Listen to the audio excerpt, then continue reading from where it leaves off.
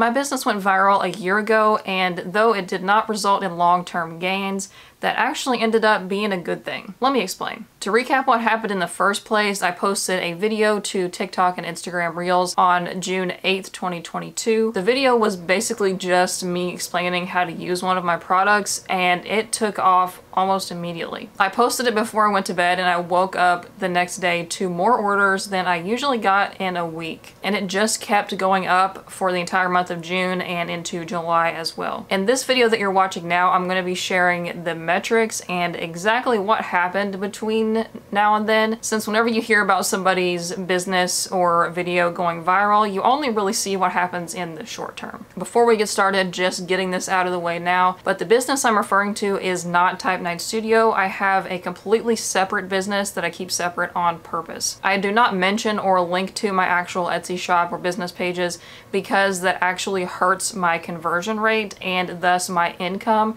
when people are coming from from this channel to go snoop around my Etsy shop, so don't. And it doesn't even help you to copy somebody else's shop, so stop doing that. So what was happening when I posted that video in June 2022? I had just opened my Shopify in May of 2022, so the month prior. And in April, so the month before that, had been the absolute worst month ever for my shop since I have been full-time as far as sales. And that April was actually when Etsy increased their fees. A lot of Etsy sellers were organizing a boycott and letting their followers know about the Etsy boycott. I didn't like specifically tell my followers to boycott because that was my only source of income at the time. And a lot of other sellers were kind of in the same boat. I'm not going to get into all of that boycott stuff today because that's old news, but I am assuming that is the majority of the reason why my sales were low in April. But that is ultimately what pushed me to open my Shopify in May. So it really went from 0 to 100 for me as far as sales, as you will see in the following data analysis. I've been tracking my monthly sales and social media followers in a Google Sheet since the beginning of 2021. I keep track of my gross sales, so that is sales from Etsy and Shopify combined before any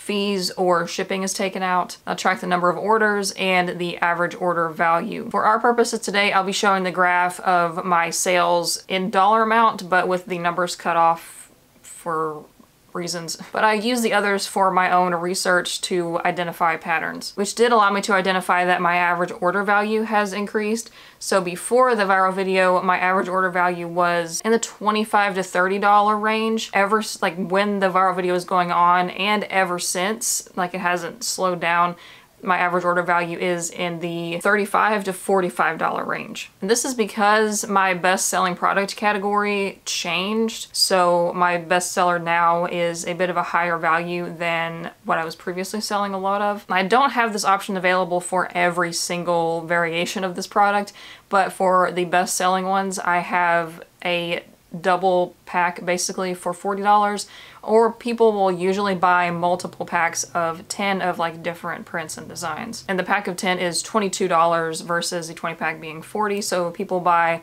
multiple 10 packs it makes me a bit more. So here is a graph of the sales data. So the blue line is 2021, the red line is 2022, and the black line is 2023 so far. The worst month you can barely see there is April 2022. And then actually the second worst is very close to that, which was this past month, June 2023. I'll explain this more a bit later on in the video, but last month was a real bad month for a lot of various personal reasons, so I was not promoting or really doing much at all. But I'm on track for July to be better, so here's hoping. Now on to the social media. So this was actually an interesting set of charts to make and kind of solidified what I had already thought about these social media platforms. This first one is TikTok. I've had pretty steady growth on TikTok since tracking this, at least between the start of me keeping track of the number and when the viral video happened because you see that big spike there in June. I was posting pretty regularly to TikTok. I started out mostly only posting on Instagram, but I was posting pretty regularly in both places right up until this. And then after the viral video was kind of over, I actually lost followers and it's completely leveled off since then for reasons. But why I lost followers, I don't know exactly. My speculation is that there were a lot of bot accounts or people that just followed me because of that viral video and then like unfollowed or the bot accounts got shut down or something. Or just that number of people finding me like they could have deleted their accounts for whatever reason completely unrelated to me just kind of like dropped off. That happens sometimes on any social media. Like it'll be really weird if you don't lose followers occasionally. But the video got the most views on TikTok and it was around 800,000 the last time I checked, which was a while ago, which isn't a lot in the grand scheme of things for a viral video, but compared to the typical two to 3,000 views I usually got, sometimes they got up to 15,000. That was pretty significant. And then it leveled off there because I just stopped posting for the most part. I've posted maybe a handful of videos since then, like maybe once a month. That whole experience just broke something in my psyche. So I turned off all notifications for every social media app that I have. So if you've messaged me or commented or anything and I haven't answered, like even for this, not just for my business, but for Type 9 Studio as well,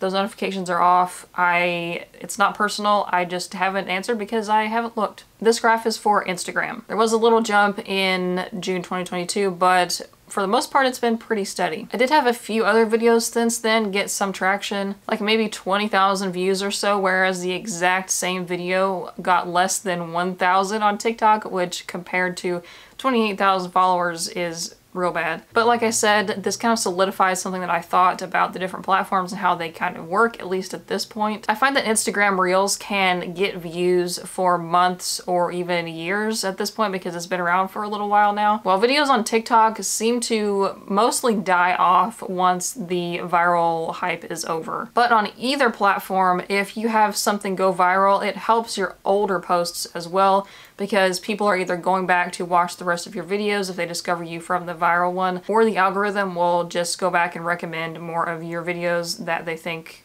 that viewer will like and it brings them up over time. The next chart is for my mailing list and this was an absolute disaster right before I started my Shopify. I did a whole video about it at the time and basically I changed mailing list providers because I didn't really like the one I was on and something happened with the link to my landing page that I didn't notice. So people were signing up for an old list or getting sent to the wrong link and I was wondering why people weren't signing up for the new one because I wasn't giving them the right link when it came time to launch my Shopify, I just wanted to use their platform for the emails because it's a lot simpler. My customer list is integrated. I don't have to worry about if it's carrying over. And the cost is included with the subscription unless you're sending like an insane amount of emails. Like I get a thousand or a hundred thousand per month and I don't get anywhere near that. So anyways, here is the chart for my email list. It's been slowly and steadily climbing since then, just with that jump in the middle because I was encouraging people to come to my website and sign up for the mailing list to be notified of a restock because my stuff sold out pretty quick. then what I should have done differently, there are a few things that looking back I have solidified like it's been a year now. I think the last time I updated on this was like a couple months after. A big part of the issue was either running out of or not being able to manage the stock amounts. So when I woke up like the next day after I posted it, I wasn't for sure like, oh, this is going viral I am going to keep getting a lot of orders that I did not realize that for a while. By the time I noticed that, I was out of my best sellers and it, I was having to go in and manually move stuff back and forth between Etsy and Shopify. And a lot of the things that I sold out of, I could not get the materials for anymore because the prints that I showed in the video were, unbeknownst to me at the time, limited edition prints from Halloween that I had ordered the year prior that didn't sell through all the way. I didn't realize until it was too late that I could not get any more of them. I don't, it wouldn't have changed anything even if I had known that. there were some comments on the video from fellow creators, like people who sell things are like, hey, um, you need to put like a restock notification thing on your Shopify because these people that are seeing this video are going to forget about you or like lose your account somehow. So you need to like keep in contact with them. And I was like, yeah, but if I put a restock notification on this, I'm never going to notify them because I can't restock it. But I did add a restock notification app to my Shopify after this. It was just kind of pointless at the time, so I wish there was a different way to do that. And people signed up for like the email list, but I probably lost out on quite a few sales because of not being able to get the stuff again and not being able to contact them if somehow I was able to get it again, which I still have not because I look like every week and they never restocked it. I also could not do a pre-order for the same reasons. I knew I could not get the exact same prints and my supplier has been slightly unreliable so even if I did do a pre-order for like a new print, I don't know if I could get enough of it or if it's even gonna look exactly like what it does online. Like the only way to do a pre-order reliably is if you are working directly with a manufacturer and they are making the product for you.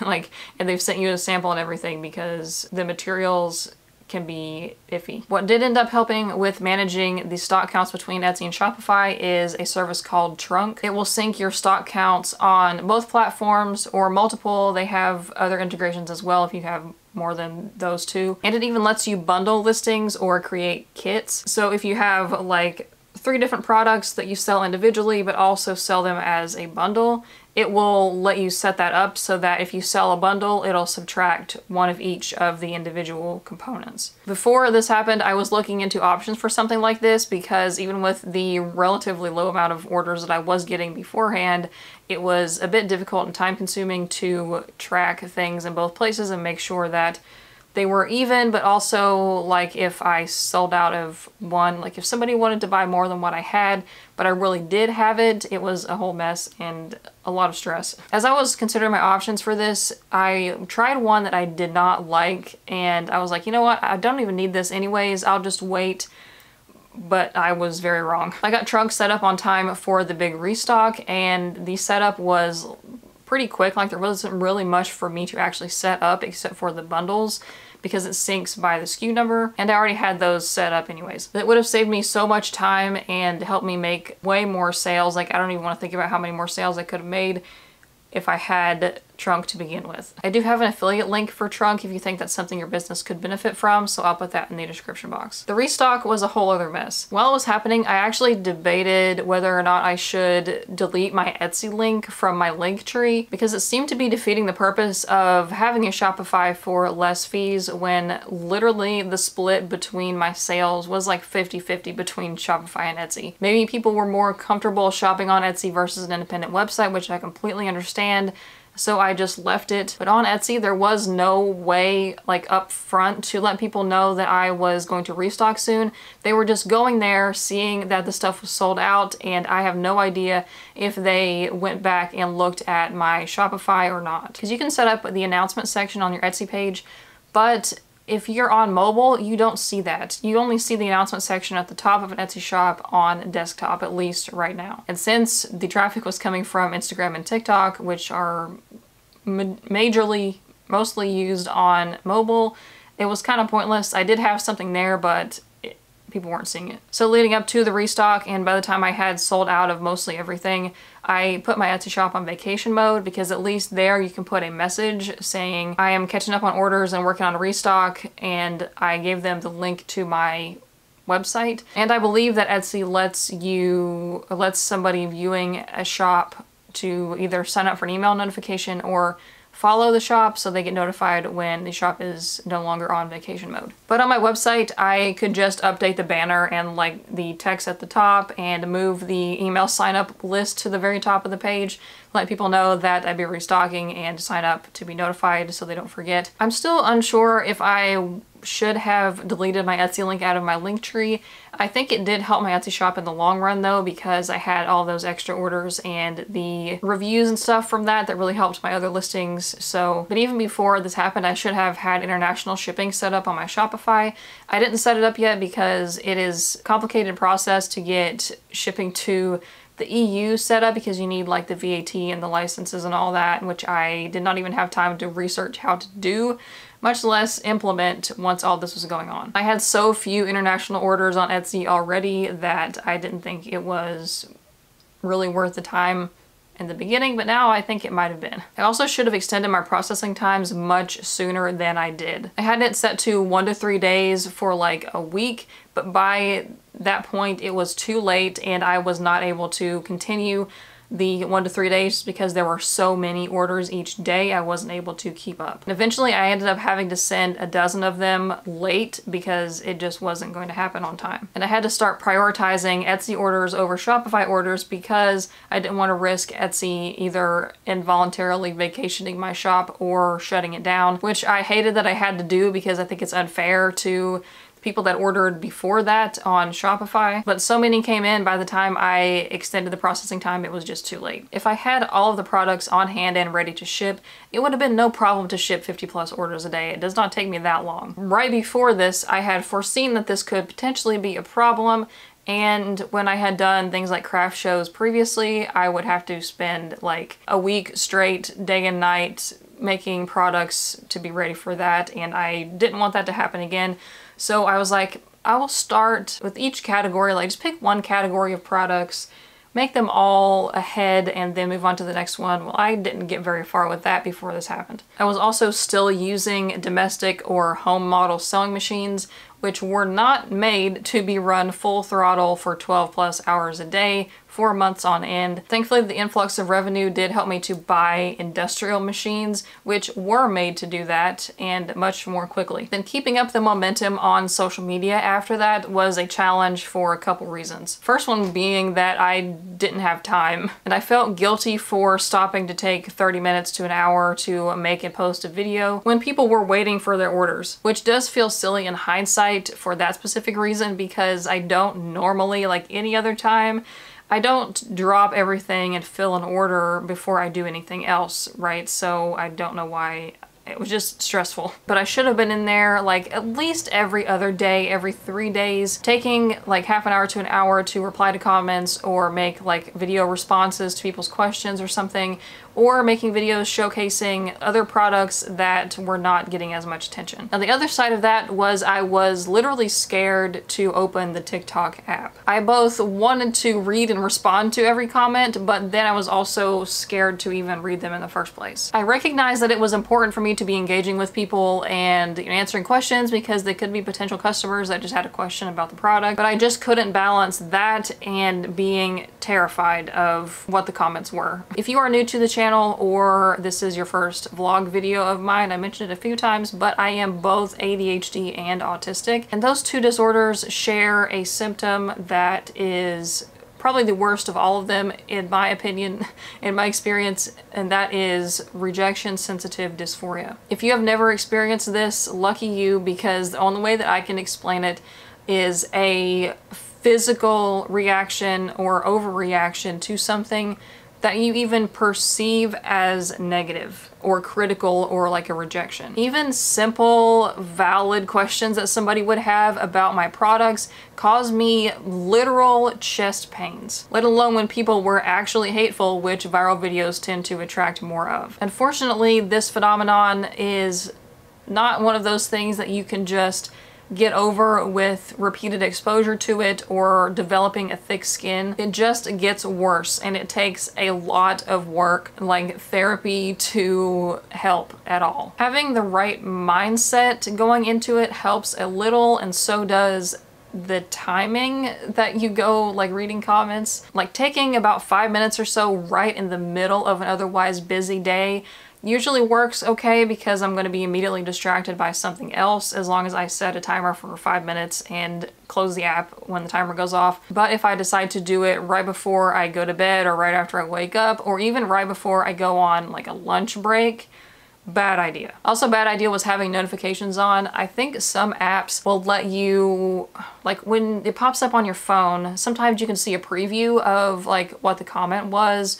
or like if you have a text message, it kind of shows you like the first part of the text message. Sometimes you can turn that off depending on your phone, but even that doesn't help because if I get a notification saying that I have a comment, I'm going to be thinking that it's negative. So I'm going to like be thinking about it anyways. So it's just have all the notifications off. Generally on TikTok, I am able to go in, post a video and not even have to like look at the comments unless one like pops up that comes in at the same time that I'm looking at it. My solution to the not posting anything would be to have a backlog of content that you can post, so work like one to two weeks in advance. That way if something like this were to happen or if you have an emergency or you just don't feel like making a video one day, then you'll have something. So where I am now, um, well, literally right now, it is pouring the rain outside. As you could probably tell from the data analysis portion earlier, I am definitely not on the continual up and up with the business. I think people expect going viral to be life-changing, usually in a positive way,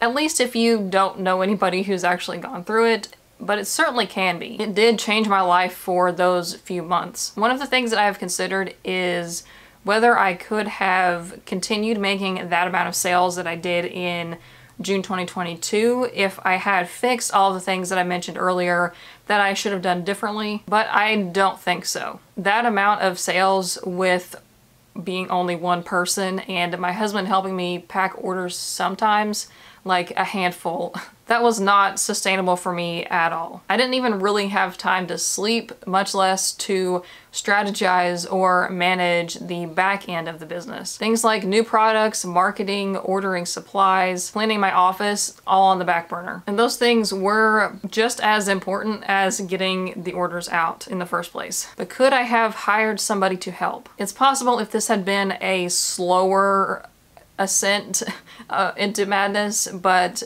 at that time, on top of everything and the stress of getting orders out on time, plus having to find and hire and train an employee to work with me in this tiny bedroom in my house while COVID was much more of a concern than it is now, no.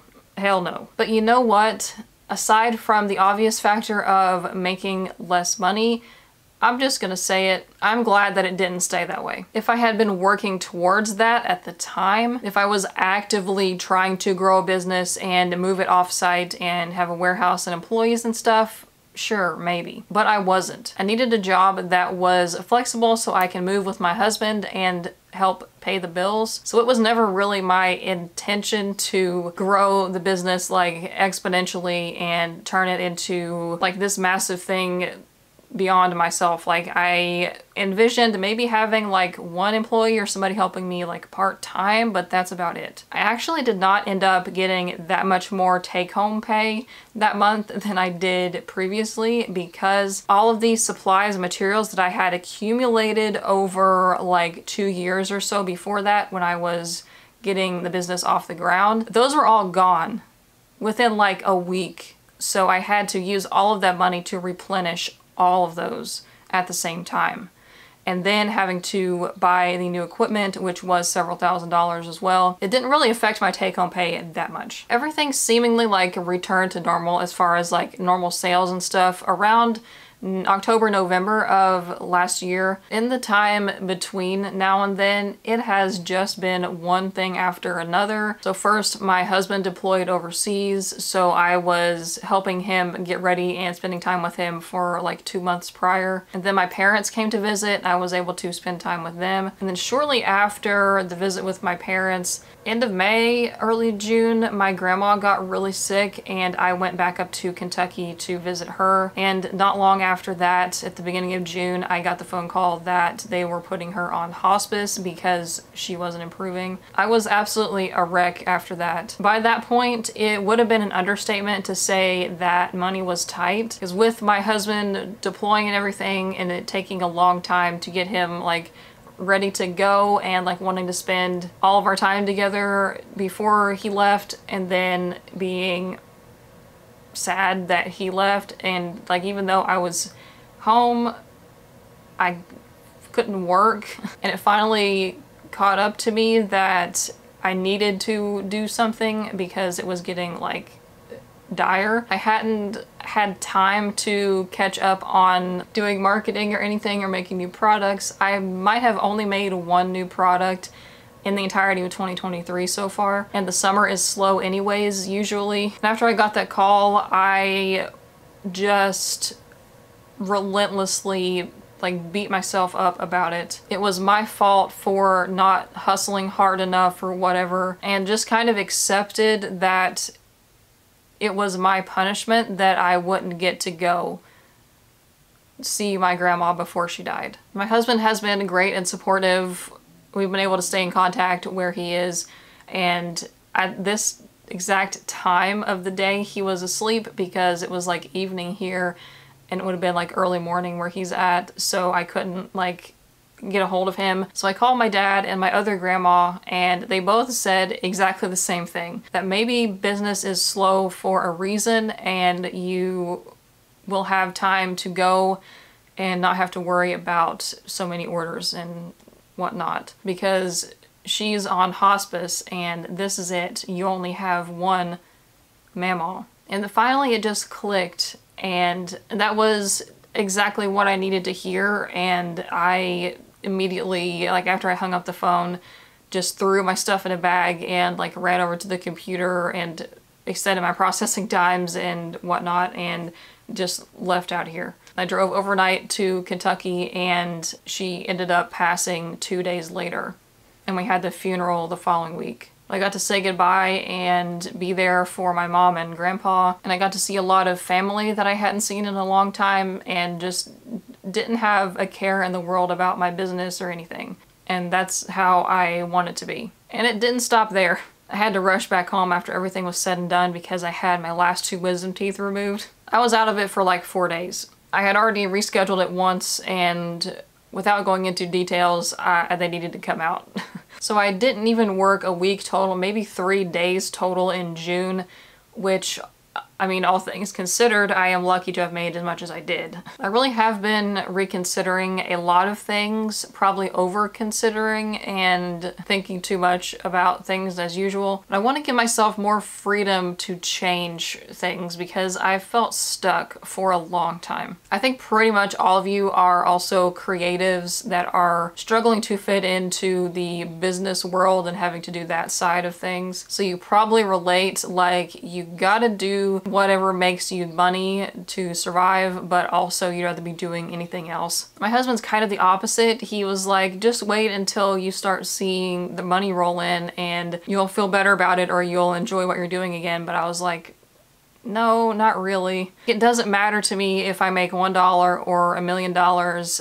If I don't enjoy something, I don't enjoy it. I have been working on this relatively small product launch. I'm looking at the stuff on my table right now. Since like before the stuff happened with my grandma and I kept putting it off and I eventually like had to force myself to work on it here and there. I had pushed off the launch date for a month now and yesterday was gonna be the day but I just kept having problems with my sewing machine and I took it apart and cleaned and oiled it and it was still giving me problems which I think I know what the problem is but I was like you know what I think I just shouldn't do this right now. Like it's not what I'm supposed to be doing but then I don't know what I am supposed to be doing. I think one of my last vlogs was about being burnt out and I can say that it hasn't really improved much. I've struggled with having hobbies and feeling the pressure to monetize them for years. I know the importance of having hobbies and taking breaks from work, but I just can't shake that guilty feeling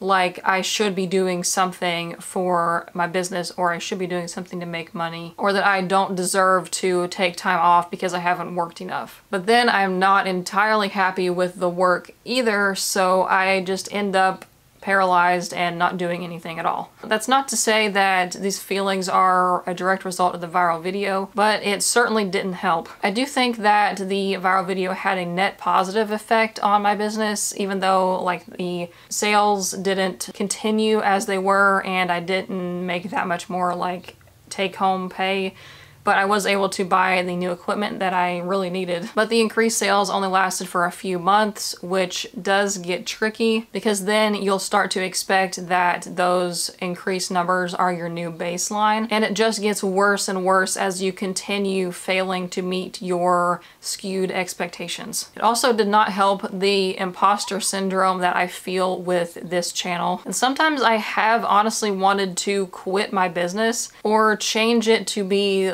something other than what it is now, like just do something different with it. But then I kind of would be a phony because how would I teach you about Etsy and having a business if I didn't have one anymore myself? So everybody that makes a YouTube channel or anything has to have, in my opinion, some small amount of narcissism and I just don't think I have enough to talk out of my ass about things that I am unqualified to talk about. But I suppose that's why so many of you are here because it's what you like about me, so I'm still here. I am going to take a slight step back from the channel though and do videos as I'm inspired to do them.